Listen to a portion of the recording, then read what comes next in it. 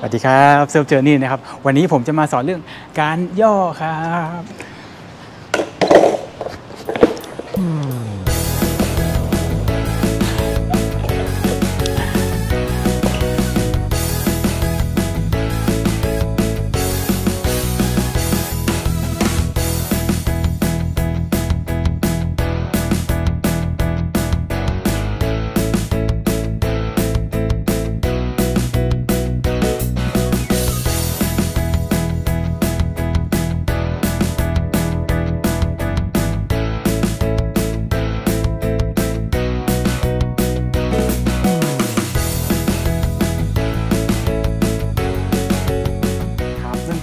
เวลาที่ไปเล่นตามสนามเนี่ยมีน้องๆบางคนบอกว่าเวลาเวลาย่ออะคือเขาย่อได้ไม่เยอะเขาอยากจะย่อแบบย่อแบบนั่งลงไปเลยแบบติดบอร์ดเลยเนาะซึ่งาบางทีมันมันลงแล้วมันลงไม่สุดอ่าก็เลยมาถามเคล็ดลับว่า ถ้าอย่างนั้นมีมีเทคนิคหรือมีทริคอะไรที่จะสามารถทำให้ย่อลงไปสุดแบบติดบอร์ดได้เลยนะอ่าเดี๋ยววันนี้มาคุยเรื่องเคล็ดลับการย่อกันครับ สิ่งที่ ผมจะแนะนำก่อนเลยก็คือตำแหน่งการวางเท้าบนบอร์ดครับคือตำแหน่งการวางวางเท้าเนี่ยสำคัญมากเพราะว่าบางคนเนี่ยย่อลงไปไม่สุด เพราะว่าเราวางเท้าไม่ได้ไม่ได้ให้มันรองรับกับการย่องั้นเนาะก็คืออเวลาที่ปกติเราวางวางเท้าคือ ตามถ้าเกิดว่าใครที่เคยดูคลิปของผมก่อนหน้านี้เนาะก็คือจะรู้ว่าผมจะวางเท้าข้างหน้า 45 องศากับบอร์ดนะวางเท้าหน้า 45 วางเท้าหลัง 90 ครับ แต่ว่าเวลาที่เราย่ออเราจะทำการบิดเท้าหลังเล็กน้อยแล้วก็แล้วก็ย่อลงเนาะอ่าเดี๋ยวดูด้านข้าง บอร์ดไปไกลๆก่อนอปกติคือเราเรายืนท่านี้เนาะแต่ว่าเวลาเราจะย่อเวลาเราจะย่อปุ๊บเราก็มีการบิดเท้าหลังหน่อยแล้วก็ย่อลงอ่าแค่นี้เราก็จะย่อได้สุดแล้วเนาะหรือว่า บางคนไม่ถนัดไม่ถนัดท่าท่านี้เราก็อาจจะนั่งพับเพียบลงไปกับเบาะเลยก็ได้ขาเป็นแบบนี้ก็ได้นะอ่าคราวนี้แค่นี้ก็จะย่อได้สุดแล้วเดี๋ยวไปแสดงให้ดูครับอ่าระวังเท้าที่ตำแหน่งปกติก่อนนะครับ ก็คือเท้าหน้าวาง 45 เท้าหลังวาง 90 เนาะอ่านี้แล้วก็ถึงเวลาที่จะเวลาที่จะย่อนะแล้วก็บิดแล้วก็ ย่อลงไปอ่าแค่นี้เราก็สามารถย่อได้สุดแล้วเนาะหรือว่าบางคนจะ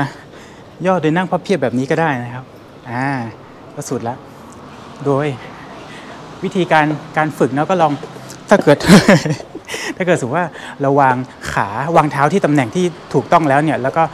ลองซ้อมก่อนโดยยังไม่ต้องเลี้ยวหรือทำท่าอะไรเลย ก็คืออาจจะถ่ายไปก่อนแล้วลองลองย่อดูจนสุดเนาะประมาณแบบนี้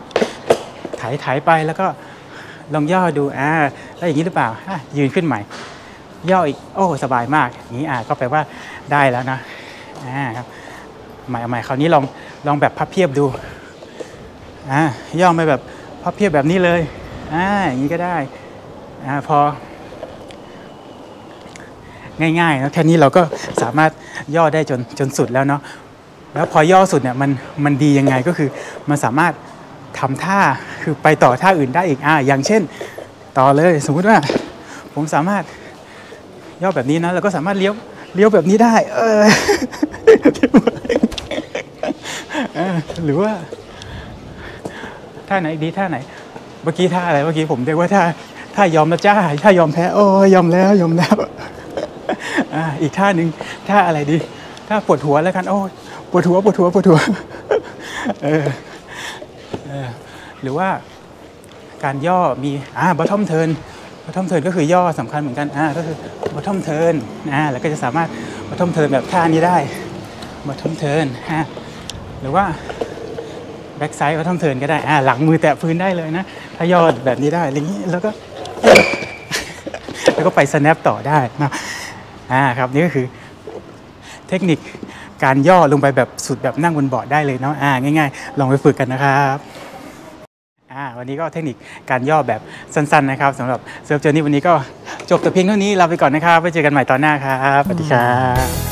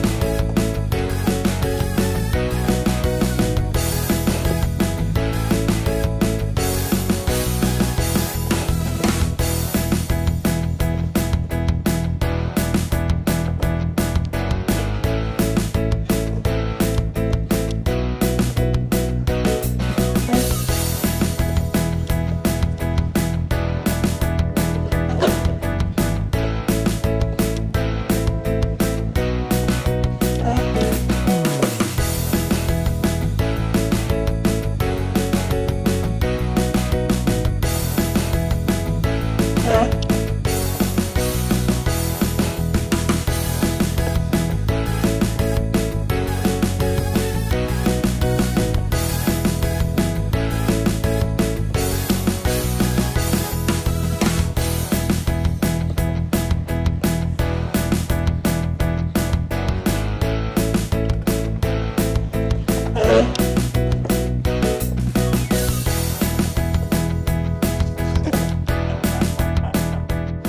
อกี้ผมลืมบอกไปอย่างหนึ่งนะครับก็คือเวลาที่เราเวลาที่เราย่อเนี่ยเนาะอ่า